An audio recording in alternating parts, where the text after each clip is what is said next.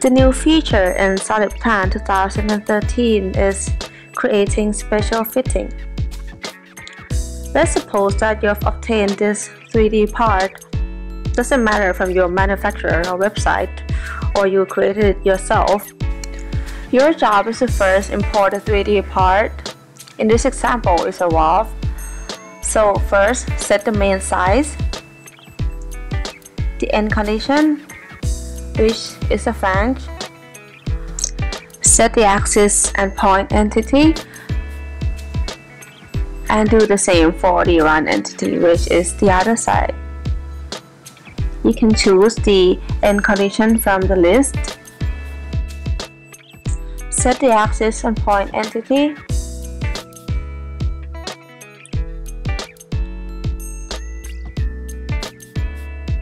And when we're done, we can apply it and save the file as the original SolidWorks file.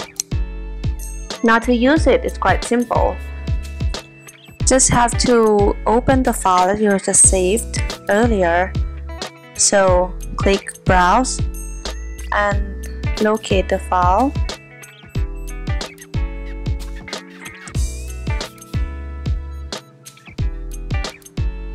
And then we're gonna use the mate function to move the valve into the location that we want.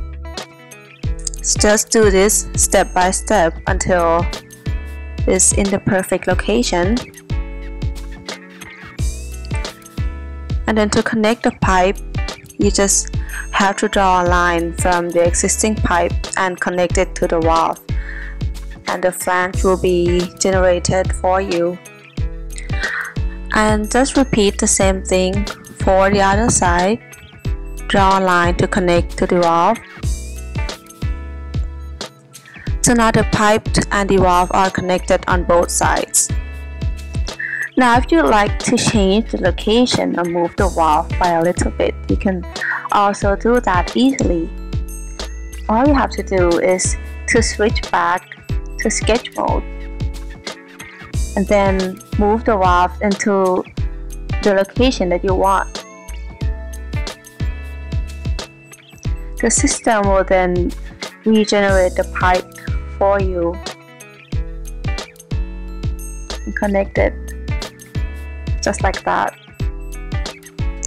The key idea is to put the special valve, which is not in the piping spec, into our model database, but we'll be able to generate the isometric drawing correctly.